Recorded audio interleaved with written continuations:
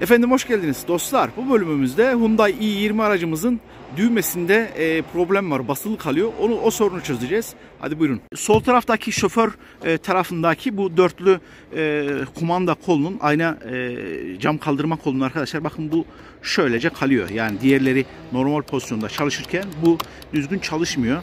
Hemen şurasında bak bir yıldız sonavdalı yeri var. Ben de ilk defa sökeceğim. Muhtemelen bunu çıkarınca çıkacaktır dostlar. Arkadaşlar malzeme tek başına başına şey, buradan şöyle alamadım. Yani dediğim gibi ilk defa söküyorum. Tek parça halinde gelmiyor. Dolayısıyla kapı kartonuyla birlikte e, alacağız.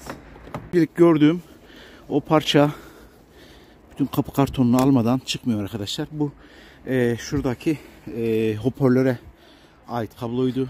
Evet kapı açma kolunun kilit mekanizmasını da şöylece bakın yerinden çıkarttırıyoruz arkadaşlar. Evet. Şimdi arkadaşlar bakın şurada bir tırnağı var. Şu tırnağı bastırdığımız zaman soket geriye gelir. Böylelikle de kapı kartonuna dışarıda rahatlıkla erişebiliriz. Şimdi arkadaşlar bakın bu parçamızı buradan çıkardık ama bu bizi bayağı bir cebelleştirdi. Ee, bunun şu kısmında şuralarda 4 tane vidası var. Normalde arka tarafındaki o e, tamamen tutamak koluyla birlikte bu e, kumanda panelini aslında arkadan sökmek için uğraştık ama e, tam şurada da klipsleri var. O klipsleri zorlamamak için bunu böyle e, şu civatalar sökmekte, vidalar sökmekte problem yaşamadık ama şu diptekinde problem yaşadık. Onun için de şöyle bir bit ucuyla e, kurbağacık kullanarak arkadaşlar arka tarafından e, vidasını söktük. Bu detaylar sizin için önemli biliyorum. O yüzden e, bu şekilde detaylara giriyorum ki siz de sökebendinizde bunun gibi çözümlerle e, işinizi halledin diye özellikle gösteriyorum. Hadi şimdi panelimizi alalım ve sökelim bakalım problemi neymiş. Şimdi bakın arkadaşlar e, şöyle bir pin yapmışlar şurasından. Şöyle bir pin. O pini şöyle asılalım bakalım her ikisini birden de. İçinde yay falan olabilir, fırlayabilir. Ona dikkat etmek lazım. Evet yay varmış zaten. Şunu şöyle bir alalım yavaşça. Bu tip şeylerde sökerken mutlaka e, yavaş yavaş hareket edin. Yay fırlama olayı olabilir. Ona dikkat edin ki e, problem yaşamayalım. Hatta ve hatta bu taraftakini yerine direkt takabiliriz tamamen bu dağılmasın diye. Bir de e, fotoğraf çekmeyi unutmuyoruz arkadaşlar ki e, şeyini karıştırmayalım diye, yerlerini karıştırmayalım diye. Şimdi ben bir ön bir inceleme yapayım ondan sonra size anlatacağım. Şimdi arkadaşlar ben bütün sistemi bakın e, çalışır hale getirdim. E, gayet de güzel e, çalışıyor. Problemi yok. Bakın şöyle yukarı asılıyoruz. Gidiyor. Aşağı basıyoruz.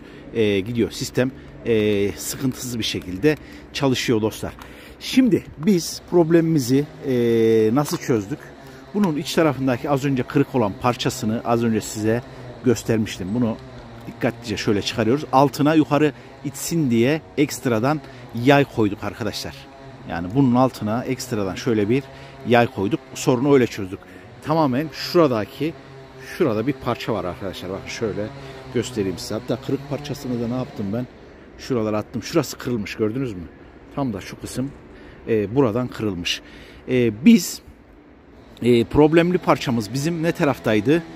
E, sol camı açmayan e, şeydi. E, e, düğmeydi arkadaşlar. Şimdi biz yer değiştirmiştim ben düğmeler. Acaba sol tarafı açalım sağ tarafı da zaten sağ taraftan açılıyor demiştik ya. O yüzden biz şimdi hepsini e, olması gerektiği gibi yerlerine yerleştireceğiz arkadaşlar. Bu yayı bakın şöyle bir yay ayarladık. Şöyle bir bu e, şeylerde askılarda kullanılan e, eteklerde kullanılan e, yay arkadaşlar tam iyi geliyor. Bakın şuraya şöyle şöyle koydum arkadaşlar. Gördünüz mü? Şu vaziyette. Evet. Maalesef yer değişikliği yapmayacağım çünkü e, bakın bunun şu kısmında e, şurada şöyle bir e, set var.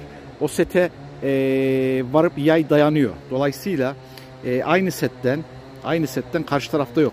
Karşı tarafta ampulün bacakları var. O bacaklarına değer de kısa devri yapar diye maalesef e, sağ tarafa kullanacağım arkadaşlar. Bakın arkadaşlar şunun iç kısmına gördüğünüz gibi bir izolo e, sistemi koydum. Siz şeffaf bir plastik de koyabilirsiniz. Şeffaf bir plastik koyarsanız e, ne yapacak? Işık da aynı zamanda e, engellenmiş olmayacak arkadaşlar. Bakın ben boyu birazcık uzundu. Boyunu şöyle kestim. Evet bakalım şöyle bir buçuk santimlik bir boy şöyle. Evet bir buçuk santimlik boy yeterli gelecek mi?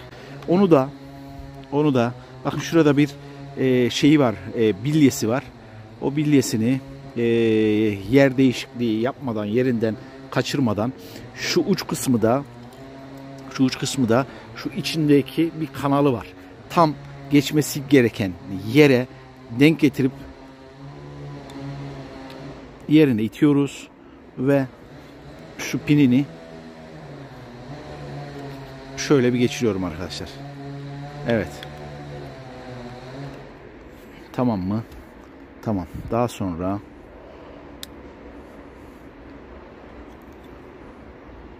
şu yayımızı koyalım.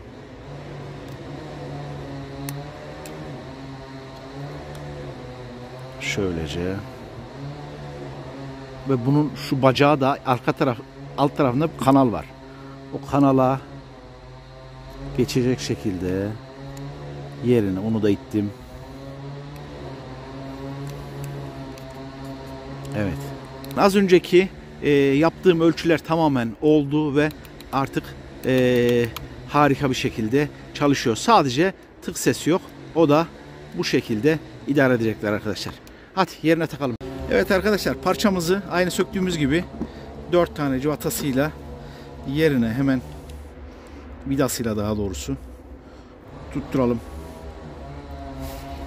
Şöyle kolaylık olsun ki evet, üstlerine tutturdum. Artık 4 civatamı da daha doğrusu vidamı rahatlıkla sıkabilirim arkadaşlar.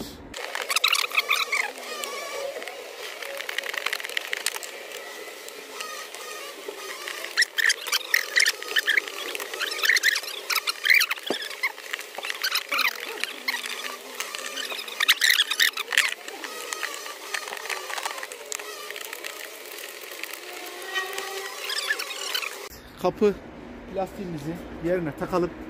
Ama önce soketi takacağız. Evet önce ne demiştik? Şuna şuna işaret vurmuştum bakın arkadaşlar.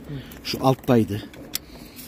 Ee, kolu bir arka taraftan çekebilir misin abi? Evet. Dur dur tamam bırak bir bırak bir. Evet.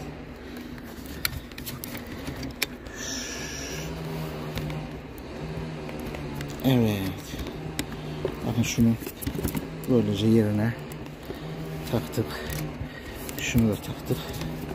Bunun bir tanesi e, içten e, kolu açma, bir tanesi de e, kilit sistemi. Bunlar takmadan elbette ki kontrollerini sağlayacağız.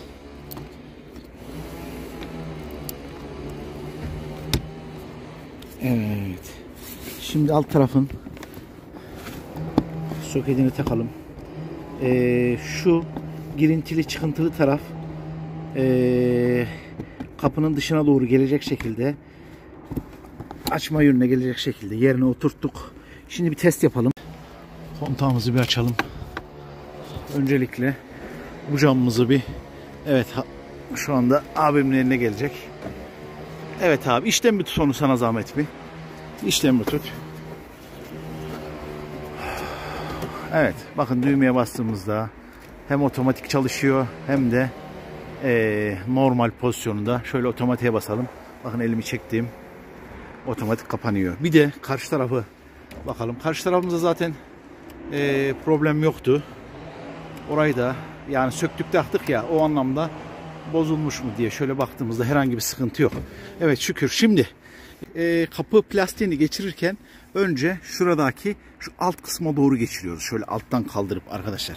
Daha sonra tam zaten yerlerine oturduğu zaman e, tam buralarda oturmayı göreceksiniz. Arka tarafında da klipslerin delikleri var zaten. Klipslerin delikleri deliklerine gelecek. Eğer klipsleri kırıksa e, klipslerini yenileyebilirsiniz. Aslında bu işlemleri yapmadan önce o klipslerden edinmeniz lazım. Ya da arabanızın bu işlerle uğraşmayı seviyorsanız e, arabanızın e, yedeğinde işte ampüldür, sigortadır o klipslerden e, mutlaka bence edinin arkadaşlar. Şimdi şöyle vurduğumuz zaman da bu böylelikle yerine oturuyor dostlar. En son şuradaki vidalarına takalım işlemi bitirelim dostlar.